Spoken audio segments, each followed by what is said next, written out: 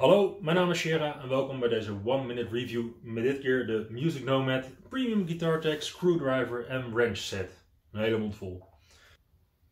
Zo aan de buitenkant een compact maar stevig koffertje met een goede sluiting, zodat je bitjes niet door je gitaarkoffer vliegen.